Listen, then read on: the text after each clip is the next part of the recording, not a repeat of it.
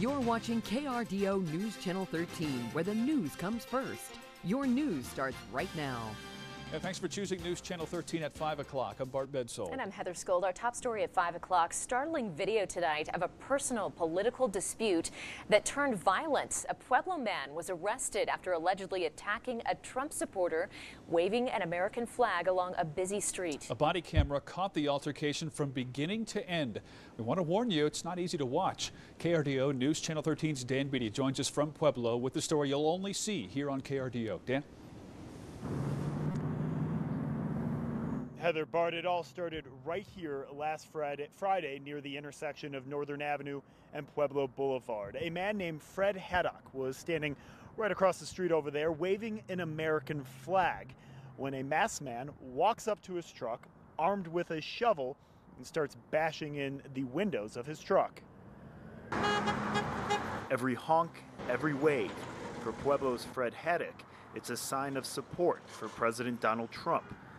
Four more years.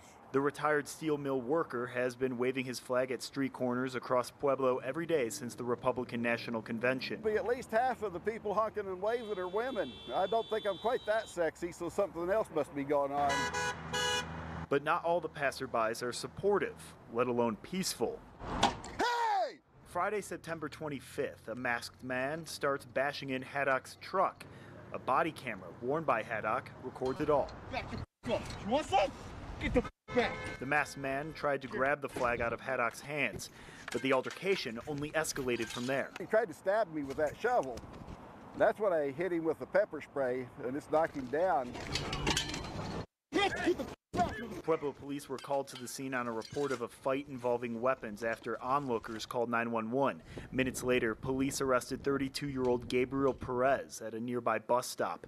Perez faces a felony level menacing charge and is accused of damaging his truck. Seemed like he just went for the windows, so he didn't do a whole lot of damage to the truck itself.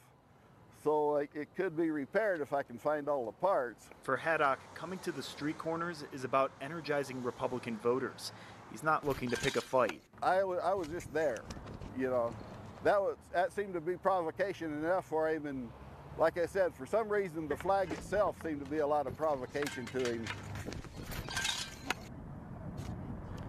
Haddock tells me he believes Perez was lucky to get out of that altercation alive. Haddock says he was legally carrying a firearm when the altercation started, and he considered taking that gun out. Uh, fortunately, he didn't, and no one was severely injured.